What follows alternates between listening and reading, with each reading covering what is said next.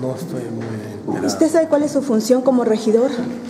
Claro que sí. Fiscalizar el ingreso Sí, y los egresos. sí, ¿Sabe que uno de los regidores está, está siendo denunciado por mal uso de algunos este, ingresos de esta comuna? No, no lo sé. No sabía, pero esa es su función. ¿Usted no sabe que este, aquí los ingresos están siendo mal utilizados?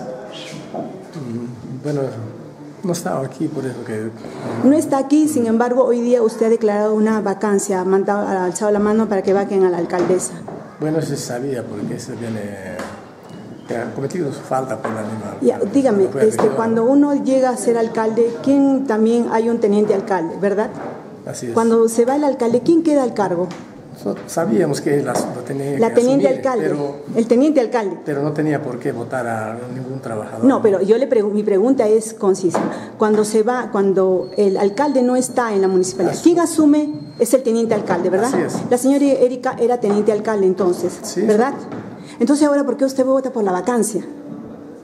Más porque ella ha cometido una falta. ¿Cuál es la falta? ¿Haber, haber sido el- teniente alcalde? Votar el personal que tenía. Pero es su- era su función, porque como teniente alcalde tenía no, que ver... antes que llegue su credencial. pues, No, la credencial le tenía que llegar para que ella se... sí, ella- Eso es lo que quería informar. No, pero ella, ella tenía que ella tenía que llegarle su, su credencial por ser ella este alcalde encargada, no por ser teniente alcalde.